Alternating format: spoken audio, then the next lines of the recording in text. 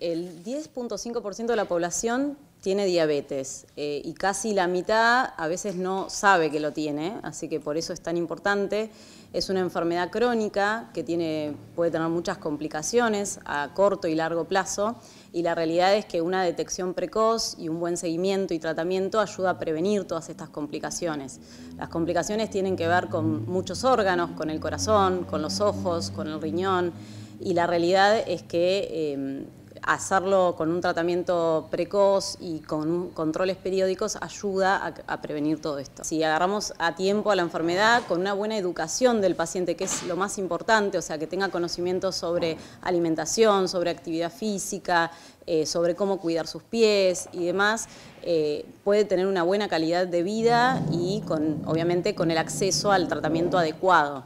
Eh, obviamente que cuando eh, la enfermedad se agarra más avanzada, eh, bueno, requiere de un tratamiento más intensivo y el paciente tiene que poner mucho de sí para poder cumplir todas las metas de tratamiento y evitar las complicaciones. La diabetes es una enfermedad que está aumentando su incidencia y su prevalencia a lo largo de los años. Se cree que para el 2045 va a aumentar un 45% más de lo que está en este momento y eh, la realidad es que está acompañado de la epidemia que tenemos de sobrepeso, de obesidad y de sedentarismo. El 90% de la diabetes son diabéticos tipo 2 que están asociados a estos estilos de vida. Entonces, eh, la realidad es que eh, en los últimos años, este, por el sedentarismo, por la mala alimentación, fue incrementando su número. La verdad es que el universo de tratamiento de la diabetes cada vez se va actualizando cada vez más, van surgiendo fármacos nuevos, insulinas nuevas, tratamientos nuevos. Eh, la realidad es que nosotros, eh, bueno, acá a nivel del hospital tenemos pacientes sin cobertura médica, pero que a través del programa del PRODIABA eh, reciben la insulina, la reciben y reciben algún fármaco vía oral. No todos los fármacos, realmente, sobre todo los más nuevos, eh, es como más difícil. Los que tienen cobertura médica pueden acceder a algunos de ellos. Eh, la realidad es que no es 100% la cobertura,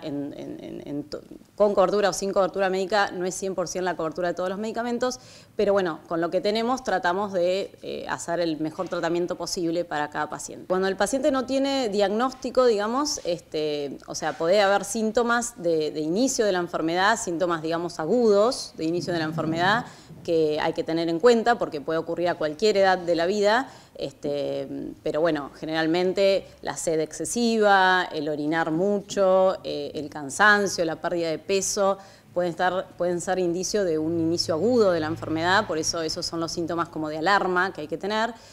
pero en el resto de los casos generalmente es una enfermedad silenciosa, ¿sí? que por eso es importante el control periódico de salud, eh, sobre todo en mayores de 35 o 40 años, hacerse una glucemia, o sea, un análisis de sangre anual. El 14 de noviembre, que es el martes que viene, eh, vamos a realizar una jornada en eh, los consultorios externos, o sea, la, la sala espera de consultorios externos planta alta, eh, que va a consistir en registrar a todos los pacientes que vengan, pacientes diabéticos, estamos hablando con diagnóstico de diabetes, no se va a hacer screening en esta jornada, vamos a citar a los diabéticos, eh, se los va a registrar, se les va a realizar examen físico, peso, talla, eh, presión arterial, a algunos se le puede tomar la glucosa, el monitoreo glucémico en el dedo, se van a hacer charlas de alimentación, charlas de prevención de pie diabético, charlas con respecto a, qué es la diabetes y sus complicaciones y en los pacientes que usan insulina se les va a dar charlas también sobre insulinización, técnica de aplicación y demás. Y por último, el Servicio de Oftalmología va a realizar fondo de ojos en pacientes seleccionados con un cupo limitado por un tema de tiempo. Eh, esta actividad se va a desarrollar entre las 8 y las 11 de la mañana.